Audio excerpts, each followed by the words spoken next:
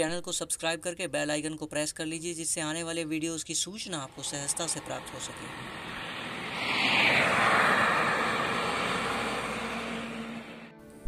भिवानी की ओर से आने वाला राष्ट्रीय राजमार्ग चरखी दादरी के उत्तरी छोर से प्रवेश करके लोहारू चौक, ऊपरगामी सेतु, महेंद्रगढ़ चौक होकर दक्षिण की ओर, महेंद्रगढ़ की ओर प्रस्थान कर जाता है।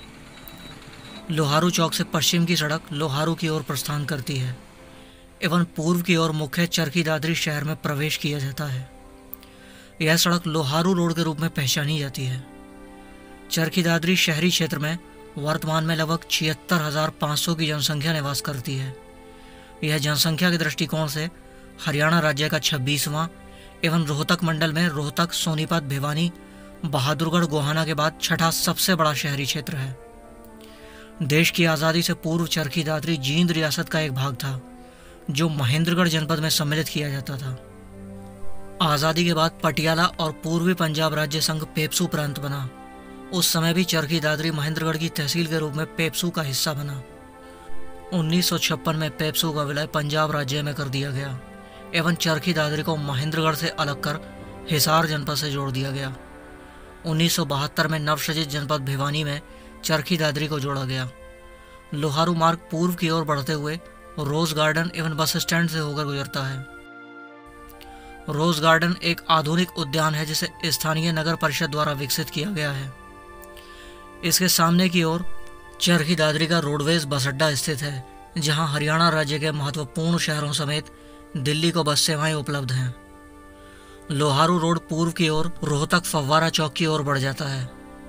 चरखी दादरी की चमचमाती इमारतें एवं वाणिज्यिक भवन आधुनिक शहरी विकास की छवि प्रस्तुत करते हैं। लगभग चवालीस वर्षों तक भिवानी जनपद में एक उपमंडल रहने के पश्चात 2016 में चरखी दादरी को हरियाणा राज्य के 22वें ज़िले के रूप में पहचान मिली। लोहारू रोड रोहतक फव्वारा चौक पर पहुँचता है। यह चौराहा चरखी दादरी का सबसे व्यस्त एवं महत्वपूर्ण चौराहा है। यहाँ सदैव भीड़ भाड़ बनी रहती है। यहाँ उत्तर की सड़क रोहतक रोड दक्षिण में पुराना सिविल अस्पताल की ओर जाने वाली सड़क एवं पूर्व में किला मार्ग शहर के मुख्य बाजारों की ओर जाता है। रोहतक मार्ग उत्तर की ओर लगभग 55 किलोमीटर की दूरी पर स्थित मंडल मुख्यालय रोहतक से जोड़ता है। रोहतक मार्ग पर ही चरखी दादरी जनपद के उपायुक्त का कार्यालय भी स्थित है। यह सड़क रेलवे फाटक रावलदी चौराहा से होकर रोहतक की ओर प्रस्थान कर जाता है।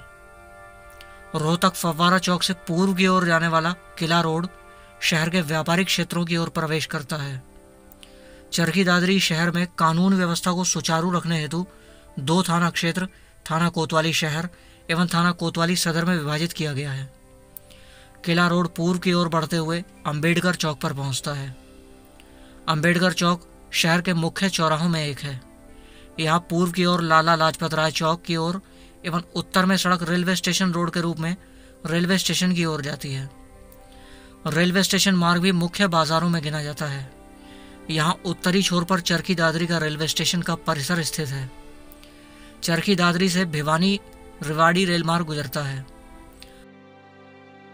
अंबेडकर चौक से पूर्व में कुछ ही दूरी तय करने के पश्चात लाला लाजपत राय चौक दिखाई पड़ता है। यहाँ दक्षिण पश्चिम की सड़क काठमंडी की ओर एवं उत्तर पूर्व में मैन बाज़ार स्थित है। मैन बाज़ार चरखी दादरी का सबसे मुख्य बाज़ार है। यहाँ उत्तर में अनाज मंडी तक फैला हुआ है। चरखी दादरी के स्थानीय वाहनों को एच आर उन्नीस क्रमांक से पहचाना जाता है। मैन बाज़ार से दक्षिण पूर्व की ओर एक बाज़ार दिल्ली रोड के रूप में झज्जर रोड से जोड़ता है। झज्जर रोड पूर्व दिशा की ओर झज्जर होकर दिल्ली की ओर प्रस्थान कर जाता है। यह सड़क शहर के दक्षिणी भाग से गुजरते हुए दक्षिण पश्चिम की ओर महेंद्रगढ़ चौराहा की ओर जाती है। इस मार्ग पर शहर का सरस्वती शिक्षा महाविद्यालय एवं जनता कॉलेज आदि के परिसर भी स्थित हैं।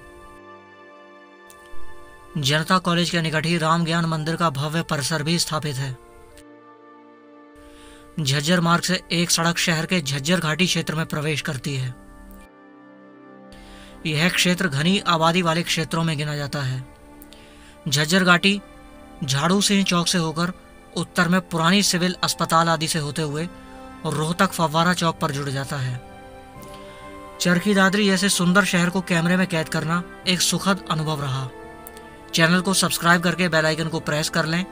चरखी दादरी पर बना यह वीडियो आपको कैसा लगा, कमेंट बॉक्स में ज़रूर बताएँ।